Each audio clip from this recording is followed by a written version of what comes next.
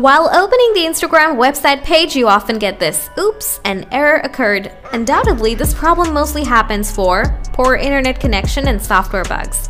But honestly, solving this problem takes only about one minute. Just follow these three solutions. Solution 1 Fix your internet issues.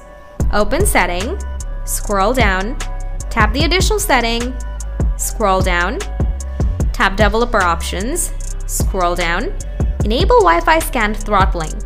Also, active the Always Mobile Data on if you are using mobile data. Now open your browser and check your mobile internet speed.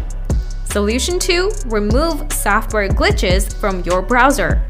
Open Setting, scroll down, tap Apps, tap Manage App, find out the browser you're trying to use on Instagram, tap on it.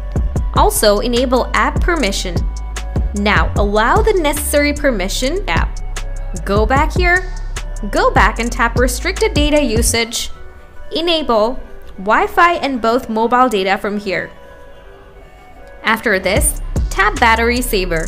Select No Restrictions. Tap Clear Data. Tap Clear All Data. Tap OK.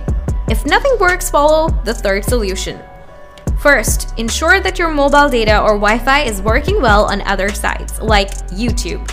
If you're sure that the internet is working, then open Setting, scroll down to Connection and Sharing, scroll down, tap Reset, Wi-Fi, Mobile Network, and Bluetooth. Choose your SIM card. Tap Reset Setting. After these, your problem will be solved, but still if you have a problem, please comment down below. Thanks for your time.